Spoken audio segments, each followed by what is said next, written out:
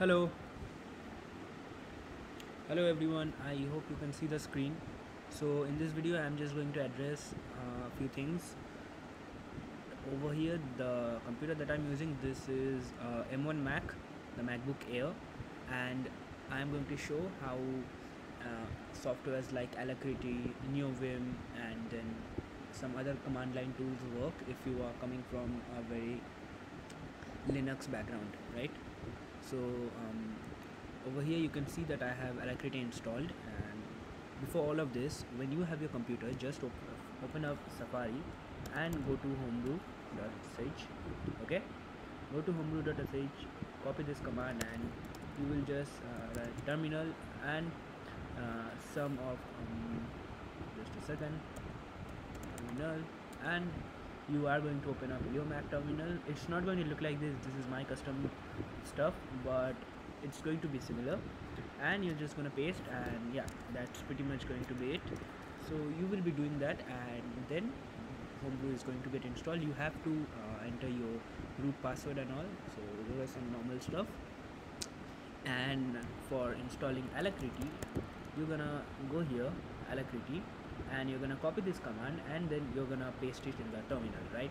And it might sometimes say that uh, this is uh, software from a um, non-identified developer or something like that. So in that case what you can do is you can just open up the terminal once again and run this command.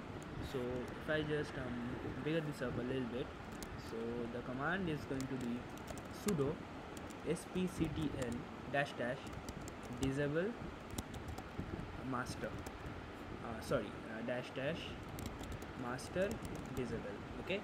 So the what this command is going to do is this command is going to give this one over here. So if I open up my this security and you can see uh, app store and identified developers. So I have done that because I am going to install everything from homebrew only. But in case you need to install some other software from other places then you can do that. And to disable this you can just put a enable. Okay so that's pretty much it. And after that once you have homebrew installed just run brew. And you can just see how everything works. So you can see that brew works like this.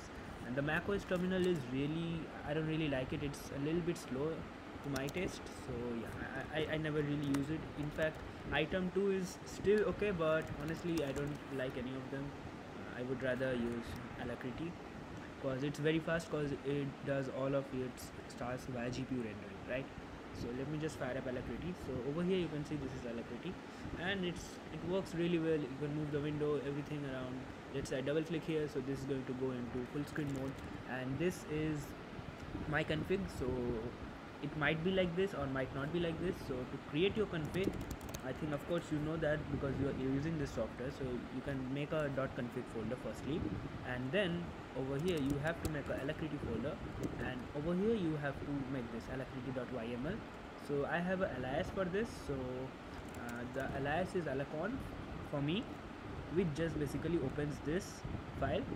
So if I just run this and you can see these are just my settings uh, my color scheme and a few of my key bindings and opacity fonts and a bunch of other stuff okay? So uh, you might be seeing another thing that I just opened up Vim. So let me just open this up. So nzsh this is going to open up my .zshrc okay? So this is my .zshrc these are some of the stuff that I use. So one does for auto completion and this one helps for this binding thing. So if I just show you so let's say cd and then tab. So I, I can hit L J you know this is just like the Vim key bindings and I, I can just move around like this. So it's really good. And yeah. And these are just aliases and over here these are some normal stuff. I am exporting some path and terminal and all. This is fcd this is a function. And these are some stuff that I used to use in my uh, Linux. And over here this is the starship shell prompt that I'm using. So if you don't know what it is then you can go to starship.rs it's a rust powered thing so yeah.